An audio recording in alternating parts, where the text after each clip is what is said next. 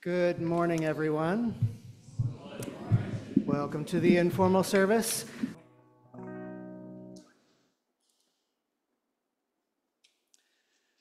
This is the day which the Lord has made. Let us rejoice and be glad in it. Let us pray.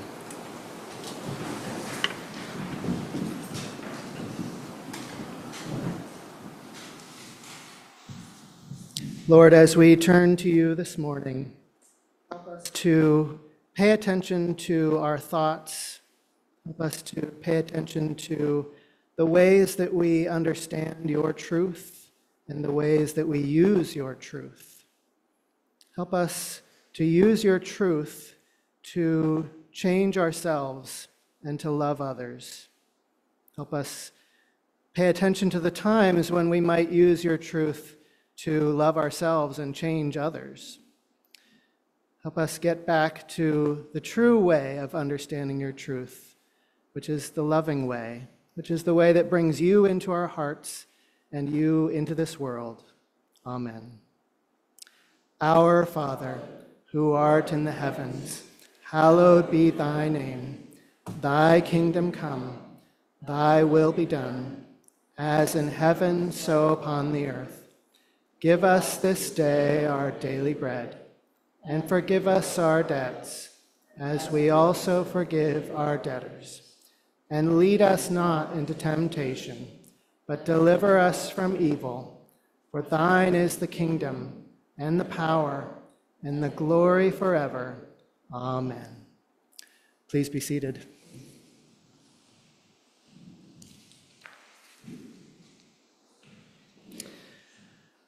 Well, good morning, everyone.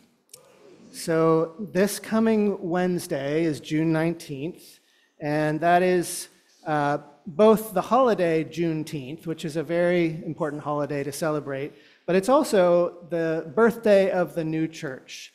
Um, and when I say that, I'm not talking about any specific church organization like the Lord's New Church or the General Church talking about something that Swedenborg mentioned in his book, True Christianity, where he said that on June 19th, 1770, that was a very significant moment spiritually for the world. Uh, it's the beginning of a new way of doing church, a new way of, of experiencing spirituality, and a new way of seeing and understanding the Lord in our lives. And so we want to try to be part of that. We want to try to be part of that new church movement. And so we celebrate every June 19th, uh, wanting that to be part of what we are and who we are. So the book of Revelation has a lot of symbolic imagery describing what this new church or this new spirituality can be for the world. And so we tend to focus a lot on the book of Revelation around this time of year. Two Sundays ago, I was preaching about the first chapter in Revelation, Revelation 1, where John had these visions. Uh, Evan, can you put up the, the slides, the first slide? So we talked that Sunday about John the disciple. He was the last living disciple, and how he was on the Isle of Patmos. And can you go to the next slide? how he had these visions. He started having these spiritual visions uh, where he saw the Lord. You can go to the next one. The first one, he saw this image of the Lord in the lampstands. And we talked that Sunday about how all of that strange kind of imagery is symbolic of who the Lord is. The Lord is divine love and divine wisdom. Can you go to the next slide? And there's this kind of intimate moment where John falls down before the Lord and the Lord reaches out and touches him. Can you go to the next slide. And I like to imagine that he lifted him to his feet and gave him a big hug because this was a kind of a reunion between John and the Lord who knew each other on earth.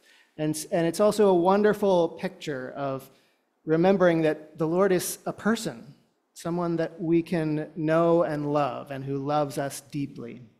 Can you go to the next slide? So, after that, in the book of Revelation, Revelation chapters 2 and 3, it describes John writing these letters to seven of the early Christian churches in Asia, dictated by the Lord, these messages from the Lord to these churches. Can you go to the next slide? Oop, it's blank. Maybe go to the next. Yeah, oh, go back a couple. We missed a couple there. Oh, interesting. They're blank? Okay, well then go forward to the next one. I don't know why those were blank.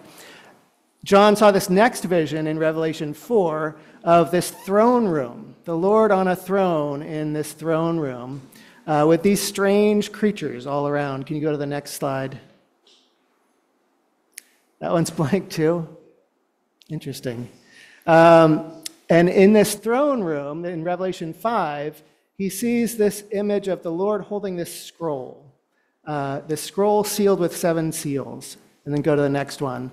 And there was this upset that people were feeling. Is anyone able to open this scroll? And fortunately, we hear that the Lamb is able to open this scroll. I talked about the Lamb of God last Sunday at the traditional service.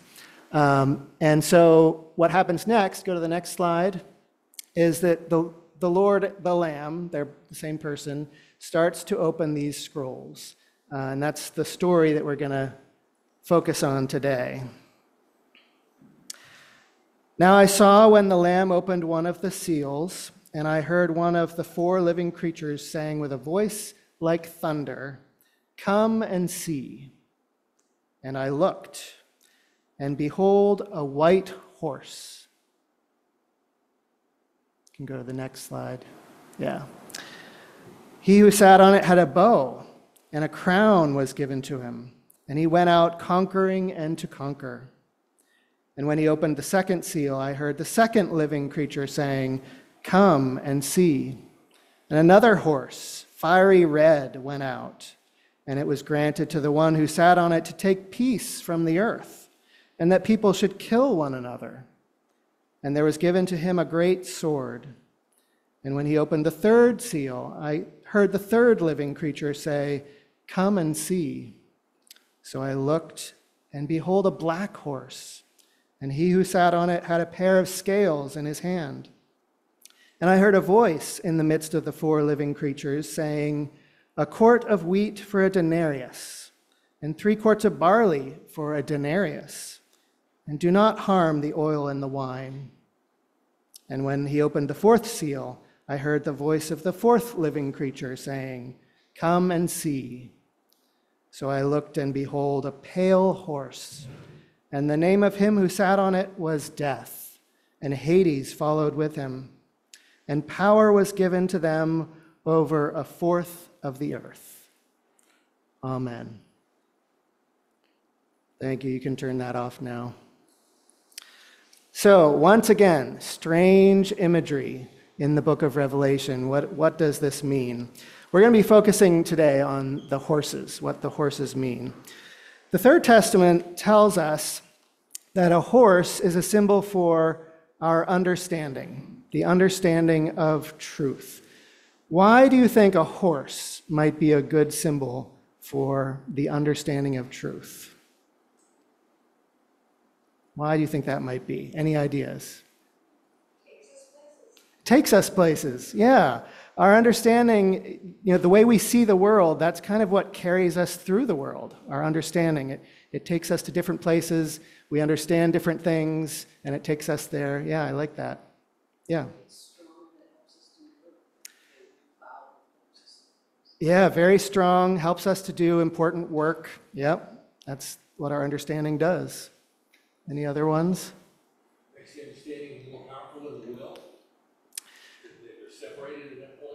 Yeah, it, or it can seem more, more powerful than the will. I think the will ultimately is probably the more powerful, but it, there's a strength, there's an important strength to the understanding.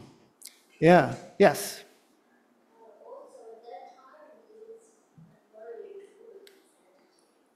Right. Uh, at the time, biblical times, horses were used for important things, and that symbolizes, you know, we use our, our understanding every single day. And you could think about the times when people used horses every single day. I also like to think, yes?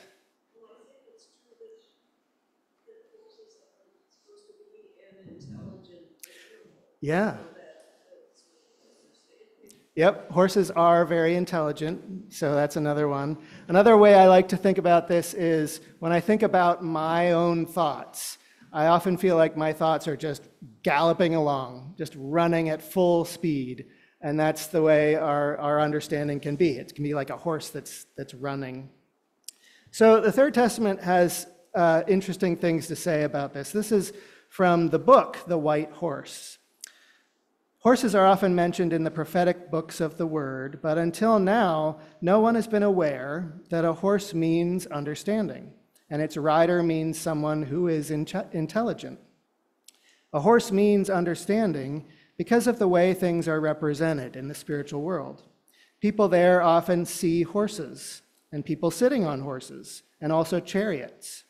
And everyone there knows that they mean matters of understanding and refer to a body of teaching. I've often seen that when people are using people there were using their understanding to think, they appeared as if they were riding horses. That's how their thought process has presented itself to others even though they themselves were unaware of it. I like that idea that you, you watch someone who's thinking deeply and it looks spiritually like they're riding on a horse. So today, we're focusing on these, these four horsemen in the book of Revelation, and it's describing four different ways that we can understand the Lord's truth. And as you can probably guess, three of them are not so good. These are understandings that are not very helpful, maybe even hurtful. And so we want to try to be aware of the different horses that we might be riding when we're thinking about things, when we're using the Lord's truth. That's, I think, what this story is about. All right, uh, Evan, can you put the slides back up?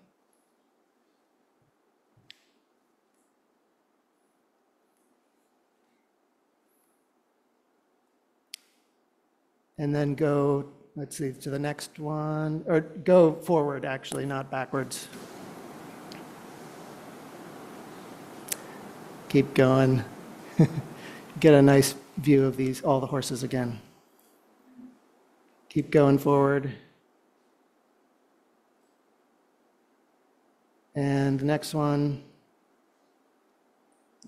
Next one. And the next one. All right, here we are. We're going to start with talking about the white horse. The white horse, this is, this is what it says in Apocalypse Revealed about the white horse. A horse symbolizes an understanding of the word, and a white horse, a deeper understanding of the word. Now, this isn't just talking about being smarter, this is talking about a deepness, like a kind of a wisdom uh, getting what life is really all about, the, the deepness of life. And this is kind of clarified in what happens next, what, what comes next in this description. It says, He went out conquering and to conquer. This symbolizes people who overcome in spiritual battles. So it's not talking about an understanding of truth that is going out and conquering other people. It's talking about an understanding of truth that is conquering ourselves, conquering in our spiritual battles, conquering our own bad habits. That's what riding the white horse is all about. Using the truth to focus on how do I become a better person, conquering those bad habits. I like the fact that it mentions that he has a bow. This is what it says about the bow. The bow symbolizes a doctrine of truth and goodness from the word, fighting against evils and falsities or against false beliefs and bad behaviors, our own false beliefs and our own bad behaviors. It's interesting when you think about the, the difference between a bow and a sword as a weapon. A sword is something where you need to get up very close to your enemy to use a sword, whereas a bow is something where you can, you can keep your distance from your enemy and still be fighting against that enemy. And I like to think about how the Lord had this sword coming out of his mouth. The Lord is the one that has the power to actually get up close to the hells and not be just totally overwhelmed by them. He has that power. We don't. We don't have that power to get that close to the hells. So the Lord gives us weapons, though, to still fight against them inside of us, but weapons that keep us at a safer distance. The Lord doesn't want us to be overcome by the power of the hells. And so we have a bow, a weapon to keep us at a distance from the hells, but still to fight against them. I love that, that symbolism. So let's think of an example of this. Here we've got the golden rule. This is a truth from the Lord's word that we can understand. And I think riding on the white horse is where I might look at this, this truth and say, okay, treat other people the way I would like to be treated. I'm noticing that I have a bad habit of being critical, overly critical, even judgmental of other people. Here's a truth from the word that's trying to put me in other people's shoes. And I can think, oh, I don't like being criticized. I certainly don't like being judged. So I should not do that to other people. So, this truth, if I'm riding the white horse, is helping me see my own bad habits that I'm too critical. I need to be less critical. I'm going to conquer that. That's riding the white horse. All right, next slide. Then we have the red horse, the fiery red horse. Can you think of another character in the stories in Revelation that's fiery red? The red dragon, the great red dragon. I like to think of these two characters as like spiritual siblings because it's a very similar idea with the red horse. Let me read a little bit about this.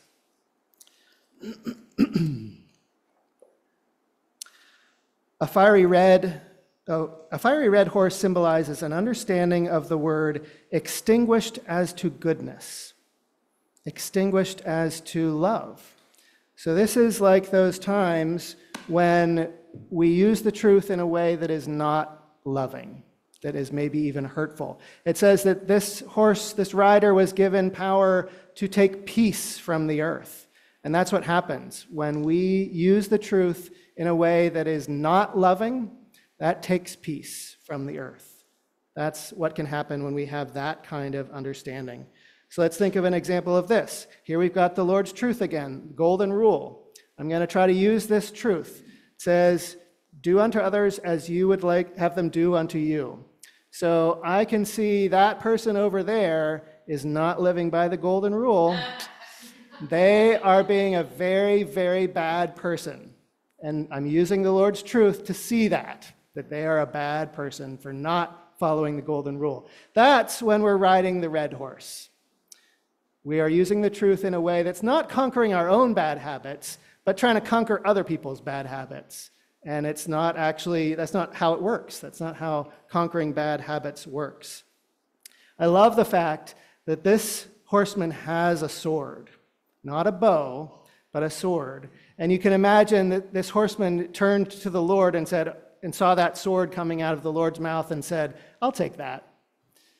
I'm going to use that. The Lord has the power to judge people. We don't. But when we're on the red horse, we take that from the Lord and say, I can judge you. I'm going to fight against your bad habits. That's when we're on the red horse, when we're using the truth in ways that judge other people, that end up hurting other people. All right, next slide. The black horse. This is what it says about the black horse. This symbolizes an understanding of the word extinguished as to truth. So the red horse was one extinguished as to goodness. This is an understanding extinguished as to truth. So think about that color there. We often think of light as being a symbol for the truth. So darkness is when there's no truth. So this is a dark horse, no light. Think about uh, a time when you maybe wake up in the middle of the night and you notice that the power has gone out and you just can't see a thing. But you have to get up and do something. And so you're stumbling around in the dark and you end up stubbing your toe on something and it's very frustrating and it's a little scary even that you can't see anything. We can sometimes have an understanding of the Lord's truth that's like that where we are looking through the Word, maybe even especially the book of Revelation, and saying, ah, I just don't get it. I don't see what this is meant to be about. It doesn't make any sense. And it might be as frustrating as getting up in the middle of the night and not seeing anything and stubbing our toe. stubbing my toe on the word. I, I don't understand what this is supposed to be about. That's riding the, the black horse. One of the things it says about this is he had scales. Not scales in the sense of a dragon, but like a scale that to weigh things. Uh, and it says the scale in the hand symbolizes a valuation of good and truth. Wheat and barley symbolize good and truth, and a denarius, think of a denarius being like the equivalent of a penny, a very small coin, symbolizes a value so little as to be scarcely anything. So we can have times when we're on the black horse where we're reading something in the Word and we just don't get it, and the thought comes to mind maybe, maybe there's no value to this. I, I don't understand how this is supposed to help me. Maybe it can't. Maybe there's no value. I think that very often a lot of people in sort of the younger generations in the world right now are riding the black horse because they're looking at the word and they're, they're maybe wanting to be good people. I want to be a good person. I just don't see how the word is helping me do that because it's so confusing and it's all about battles and strange imagery. How is that going to help me be a good person? It's interesting that very often I think religious people often end up on the red horse, and non religious people often end up on the black horse. I don't get it, and maybe there's no value to it. That's the scales. Now, fortunately, it says, do not, and do not harm the oil and the wine. The oil and the wine is at the core of the word, there's that divine love and divine wisdom. And even when we don't understand what the word is saying, that love and wisdom is still protected. Do not harm the oil and the wine. It's still there for whenever we end up understanding it. So then we have the pale horse. Can you go to the next slide? The pale horse. This is what it says about the pale horse. So I looked, and behold, a pale horse. This symbolizes an understanding of the word destroyed as to both goodness and truth. Paleness symbolizes a lack of vitality. Doctrine is not seen without a life in accordance with it. The reality of this is not known by one who is acquainted with truths of doctrine and yet does not live by them. And people of that character appear pale in the spiritual world, like people without life. There's this great phrase in the book, The Doctrine of Life all religion has relation to life, and the life of religion is to do good. There's, there's life in the word, but we can get to a point where our understanding of the word is like the pale horse, where we're not seeing any life in it. It's as if we, we've been on the red horse, we've been on the white, uh, the black horse, We've gotten to the point where we say, I don't see how the word is helping me be a better person. And you know what? Maybe there's no point. Maybe I should stop caring. Just going to give up on, on everything, on the truth, but also on uh, trying to be a good person. Thank you. I did actually do that on purpose. going to give up on, on understanding it, but also on trying to be a good person, because maybe it's just really all about me. Just look out for number one who cares about other people? That's when we're on the pale horse. We've given up on spiritual life itself. Are you thoroughly depressed yet? That's where we're supposed to be at this point. This, we can all end up on all of these horses at various times. And so it's just good to be aware that we can do that. We can end up on any one of these horses. Now, don't get too depressed because the story's not over. We're going to come back to the white horse and end with something good.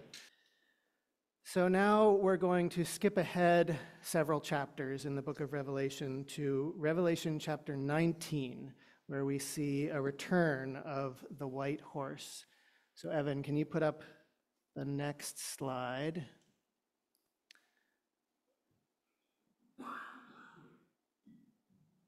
There we go. For some reason, unfortunately, I had these beautiful pictures from Nancy of the white horse, and I don't know why they're not showing up. But please go check out Nancy's beautiful painting of the white horse. But here's another one.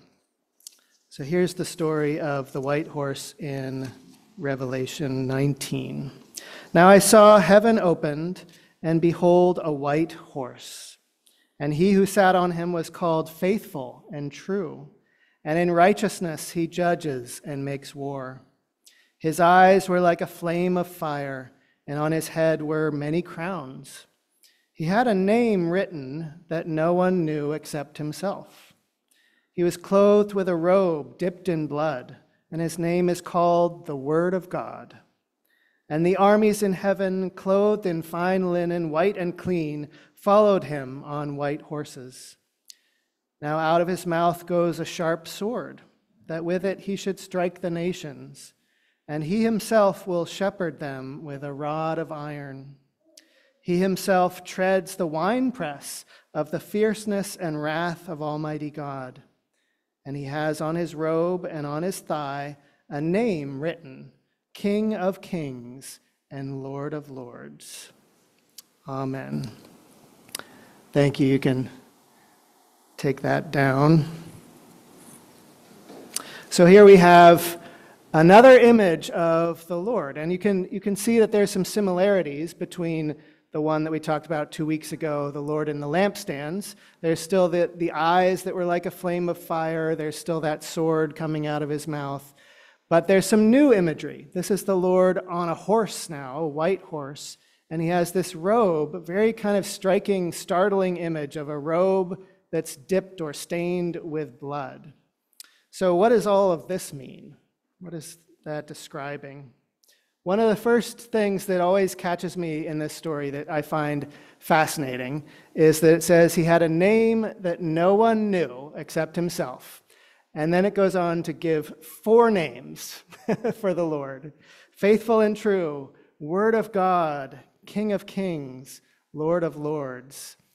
So that's kind of an interesting dichotomy. A name no one knew, and here's some here's four names for this person that no one knew the name of. This is describing the image of the Lord, the, the divine human in the Word. And so that's why one of those names is the Word of God. I want to read a little bit about what this says in the Third Testament. This is from the book The White Horse. His having a name written that no one knew except himself means that what the Word is like in its inner meaning is seen by no one except him and those who he reveals it to. So we can think about that idea that at, at the core of the word is divine truth itself. And nobody really, no, no finite person can ever really understand divine truth itself. But the Lord wants us to understand as much of it as possible. And so he gives us these different names for himself, describing the different qualities in the word. So it's sort of both are true we can't really know divine truth itself. We can't really know that name, but we can get a sense of what the Lord is like, what the Word is like.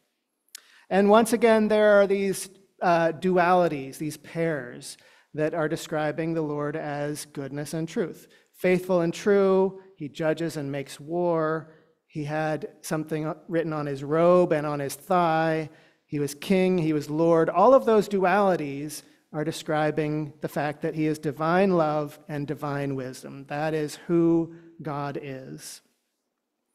So let's talk a little bit about this robe stained in blood. This is very striking, maybe even a little bit disturbing to think of the Lord that way. But if you think about the idea that this is an image of the Lord as the Word or in the Word, so his robe is describing the literal sense of the Word. And if you've ever read the Word, there are a lot of bloody stories in the Word, a lot of violence in that literal sense of the Word. But it goes deeper than that. The, the Third Testament says that what that's describing is not just that there's violence in the Word, but that there's been violence done to the Word. Anytime you see someone using a, a statement from the Word in a hateful way, in a way that is hurting somebody else, that's actually doing violence to the word. It's not, it's not destroying the Lord in the word, but that garment has had violence done to it. And that's That's a sad reality, and that's part of what is pictured there in that image of the Lord. Another one that's kind of striking is this image of treading the wine press. Uh, can you put that slide up again, the, the last one that we had there, Evan? It says that he was treading the wine press. You can see that in that painting of the fierceness and wrath of Almighty God. And this is another one that is maybe even a little disturbing. What does that mean? That's where that phrase, the grapes of wrath, comes from, is, is that description. And here's what it says about that in the Third Testament. This symbolically means that the examination was made in accordance with divine truths in the Word to discover the character of the works that flowed from the Christian church's doctrine regarding faith, namely the, the doctrine of faith divorced from charity. So, this is describing the fact that the Lord was coming in, in this sense of Him coming, the second coming, the spiritual coming of the Lord, coming to examine how we've been doing as a church. You know, we've talked about how a vineyard is like the church. And he was treading through that and finding, instead of finding love there, he was finding fierceness and wrath. And wrath that appeared to be coming from God that wasn't coming from him, but that was coming from the church, this fierceness and wrath. And so that's describing that the, the Lord examining that and finding fierceness and wrath. So, once again, this sort of warning to us to be pay attention to how we are understanding things and how we are using the truth in ways that might not be so good. Thank you. You can take that picture down. So then we have the host of heaven. There are all these riders on white horses following the Lord. And I think the idea there is that we can be part of that, part of the host of heaven on, on white horses. I love this description here from, from the book, The White Horse. The armies in heaven that followed him on white horses mean the people who have an understanding of the deeper contents of the word. Once again, not just about being smarter, but getting the deepness at the heart of what the word is about. Their being clothed in fine linen, white and clean, means that these people have an awareness of truth that comes from doing good.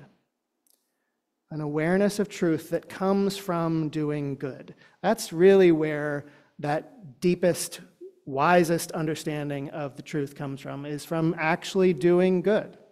And in order to do good, we have to address the bad habits that we have. So that comes back to that idea of being on the white horse is about looking at our own bad habits, trying to become better people, trying to bring that into the world. I very often will look out at the world and see everything that's wrong with the world and very easily hop on that red horse and go, You're doing it wrong, and you're doing it wrong, and you're doing it wrong. It's very easy to get on that. Other times I might look out at the world and be on the black horse, kind of like, uh, I don't understand what is going on in the world today. Or I might get on the pale horse and be like, I give up. There's no point. The Lord isn't here. There's craziness everywhere.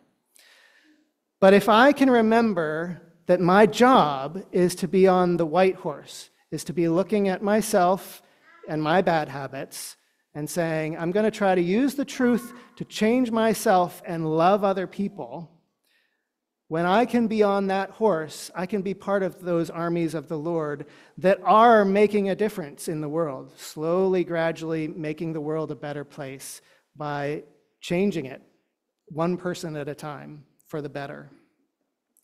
So, another wonderful thing about this is that it's not just that we can be part of those armies, but that that white horse, if we have that white horse in our understanding, we're riding on that white horse that's carrying the Lord.